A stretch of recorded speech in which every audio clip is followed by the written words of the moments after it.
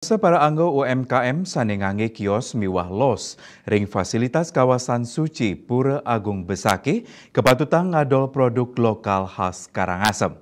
Ini ke inucap kebausang oleh Gubernur Bali Wayan Koster ritat kaleng ukuhang Badan Pengelola Fasilitas Kawasan Suci Pura Agung Besake.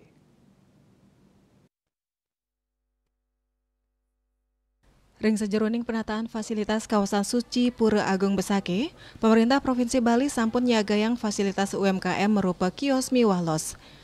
Kewentenan nyane kantos satak pitung dase kalih unit kios, miwah satu sieda sekutus udit los, sane begenah ring widangan bencingah miwah manik mas.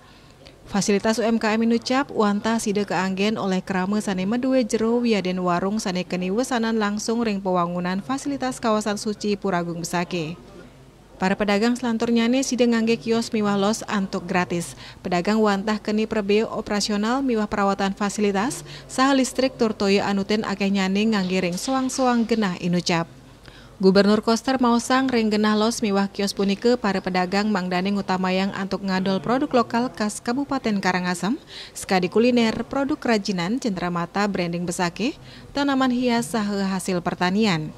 Para pedagang taler patut ngerakse keresikang ring suang-suang genah melarapan ngelola lu berbasis sumber, milah lu organik miwah non-organik sahe ngemet keasrian genah adolan. Selami madolan mekesami pedagang kap tiang mebusane sane rapi, sekadi busane adat madya. Bali Pos Nguningayang.